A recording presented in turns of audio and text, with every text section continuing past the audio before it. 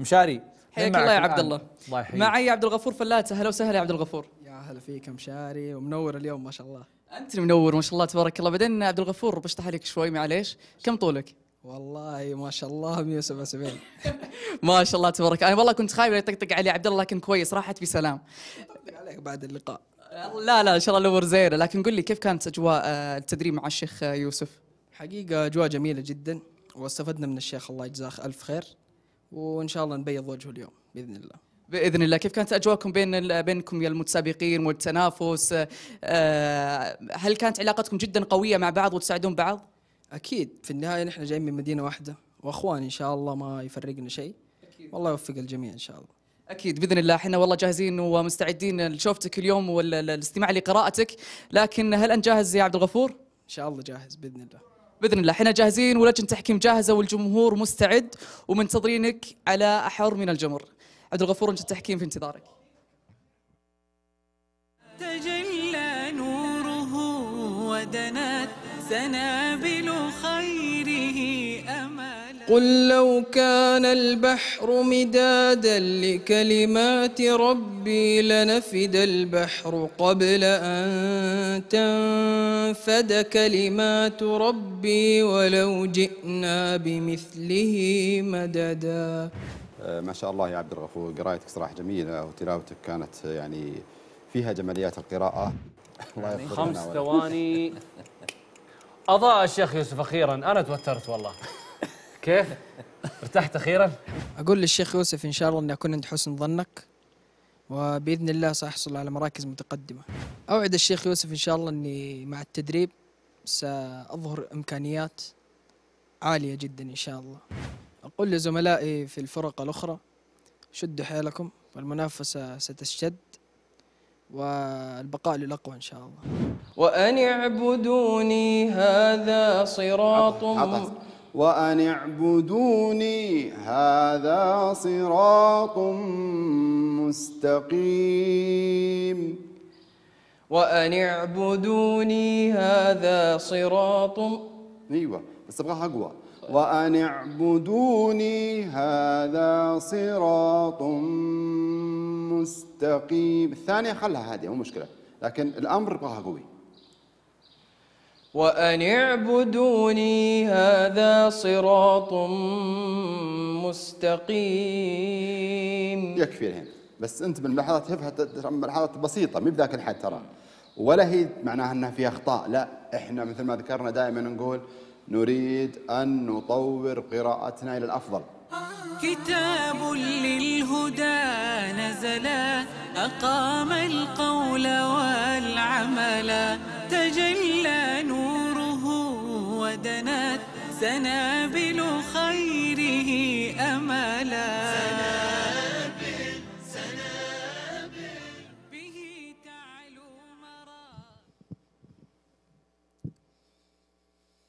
أعوذ بالله من الشيطان الرجيم.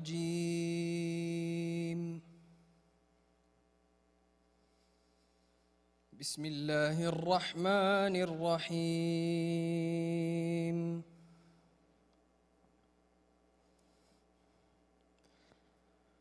إن أصحاب الجنة اليوم في شغل فاكهون. هم وأزواجهم في ظلال على الأرائك متكئون. لهم فيها فاكهة ولهم ما يدعون. سلام قولا من رب رحيم. وامتازوا اليوم أيها المجرمون. ألم أعهد إليكم يا بني آدم ألا تعبدوا الشيطان إنه لكم عدو مبين وأن اعبدوني هذا صراط مستقيم.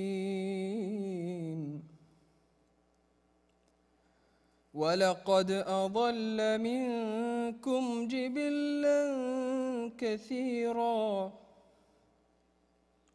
أفلم تكونوا تعقلون؟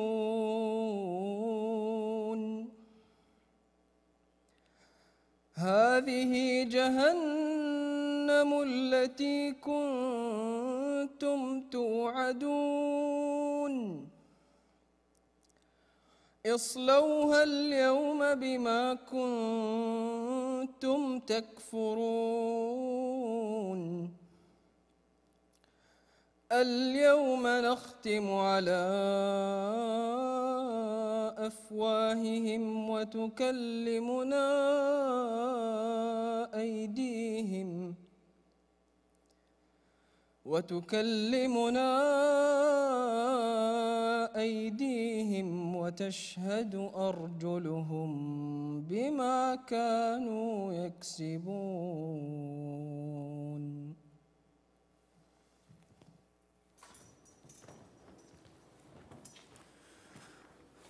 أهلا وسهلا. عبد الغفور. روح للشيخ أحمد العبيدي تعليقك على تلاوة عبد الغفور فلات. يا سلام يا عبد الغفور ما شاء الله. أنت استفتحت باستفتاح الكبار في التعوذ والبسملة. شوف بدايتك كانت آه، غير موفقة وشكلك انتبهت لل ولا لا يا شيخ صالح؟ طبقة هي نعم نعم. إيه بدايتك أول آية. بعدين تداركت وهذا يمكن ما يطلع إلا من واحد ما شاء الله متمكن. في الآية الثانية مسكت نفسك ولا لوك ماشي على الوتيرة الأولى كان يمكن إيه بترقى فوق. ما شاء الله. مع ذلك إيه نعم رجع وفي الطبقة اللي هو فيها. آه عندك بعض النشازات لكن يغفر لها آه ختامك للآيات. أنت يا أخي ما شاء الله عليك تجيب آه تجيب في ختام كل عدو مبين مستقيم تكفرون. ولقد أضل منكم جبلا. هذه جميلة. برجع لها بعد الحلقة بسمعها. الله يوفقك يا عبد الغفور جميلة جميلة قرايتك. الله يبارك لك شكرا. الشيخ صابر؟ الله يغفر لك يا عبد الغفور واجعل لك حظ من اسمك الجميل. آه تذكر عبد الغفور آه في المشاركة الأولى. إيش قلت لك أنا ولا ما تذكر؟ إيش قلت لك؟ آه، الزيادة في الرحمن. لا غير الزيادة. ما تكلمنا عن هذه جهنم. طيب. أنا الإستعاذة والبسملة جدا عجبتني. حتى يعني طلعت يميني ويساري وجدت الجماعة كلهم آه، فعلا استدراك ترى في هذا الكرسي إنك تستدرك وترجع مرة ثانية وتحفظ اتزانك هذا توفيق من الله سبحانه وتعالى. هو احسب ان الله قد وفقك. رفعت عدة رفعات في ألم أعهد اليكم يا بني آدم لا تعبدوا الشيطان. خرجت بالصوت اللي يسمونه يعني في الاداء الصوتي الصوت المستعار. ليس صوت الحنجرة العادية. ألم يعني كأنك تقرأ صوت مرتفع لكن بطبقة منخفضة، واضح؟ يعني كأنك آه، ترفع صوتك لكن بينك وبين نفسك. وهذه تؤثر عليك وتؤثر على على الملكات. تحد من ملكاتك. يعني عندك ملكات جميلة. القفلات كان معظمها جميلة لكن انتبه لكثرة تشابه القفلات. ولو كانت جميلة كثرة تشابهها كل قفلة تحتاج آه، إلى آه، إحساس. لكن الإحساس كان غالي غالبا في في القراءة. إحساس راقي جدا وعالي جدا بالآيات. زادك الله جمالا وتوفيقا يا عبد الغفور. شكرا للشيخ صابر. وشكرا كمان لك يا عبد الغفور. ننتقل إن شاء الله نهاية الحلقة.